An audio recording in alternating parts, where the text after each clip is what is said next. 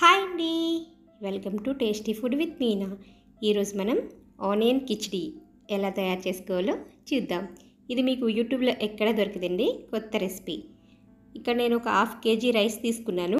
ఈ రైస్ని బాగా కడిగి ఒక గ్లాస్కి రెండు గ్లాసులు చొప్పున వాటర్ పోసి నానపెట్టుకోండి. దీనికి కావాల్సిన పదార్థాలు ఒక చిన్న అల్లం ముక్క ఒక వెల్లుల్లిపాయి పచ్చిమిర్చి మీ కారాన్ని బట్టి వాడుకోండి. ఒక పెద్ద ఉల్లిపాయ పడుతుంది. చెక్క లవంగం అనాస పువ్వు. ఈ మూడు కావాలి. అండ్ పుదీనా దీనికి పుదీనా చాలా ఎక్కువ క్వాంటిటీలో కావాలి. అప్పుడే టేస్ట్ బాగుంటుంది. చూసారు కదా మనకి ఇక్కడ కనిపిస్తున్న ఇంగ్రీడియంట్స్ అన్నీ కావాలండి. ఇప్పుడు వీటిలన్నిటిని మనం మిక్సీ పట్టుకోవాలి.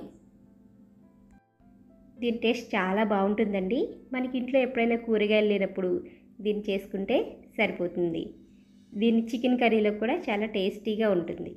పుదీనా తప్ప మిగిలిన అన్ని ఇంగ్రీడియంట్స్ వేసి మిక్సీ పట్టుకోండి. ఇలా మెత్తటి పేస్ట్లా మిక్సీ పట్టుకోవాలి.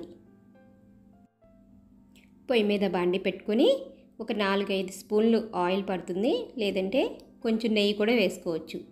ఇప్పుడు ఈ పేస్ట్ వేసి ఎర్రగా వచ్చేంత వరకు వేయించుకోండి.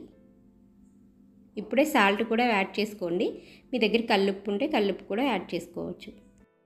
సగం పుదీనాని దీనిలో వేసి వేయించండి. నానబెట్టుకున్న రైస్ని కుక్కర్లోకి తీసుకుని దాంట్లో ఈ పేస్ట్ కూడా వేసి కలపండి. ఇప్పుడు మీరు సాల్ట్ని అడ్జస్ట్ చేసుకోవచ్చు. ఒకసారి టేస్ట్ చూసి సరిపోతే సాల్ట్ అవసరం లేదు లేదంటే మీరు కావలసినంత సాల్ట్ వేసుకోండి. కుక్కర్కి మూత పెట్టి మూడు విజిల్స్ వచ్చేంత వరకు ఉంచండి. చూసారు కదా ఎంత బాగా కిచిడి తయారైపోయిందో. ఇప్పుడు దీంట్లో మీద కొంచెం నెయ్యి పోసుకుని ఇప్పుడు మీరు మిగిలిన పుదీనాని కూడా పైన యాడ్ చేసుకోండి. ఆ వేడికి ఆ పుదీనా మగ్గిపోతుంది. చాలా టేస్ట్గా ఉంటుంది. చూసారు కదా ఎంత ఈజీగా ఆనియన్ కిచడీ తయారు చేసుకోవచ్చో? మీకు నచ్చిందా? అయితే మీరు కూడా ఒకసారి ఇంట్లో ట్రై చేసి నాకు కామెంట్ చేయండి. థ్యాంక్స్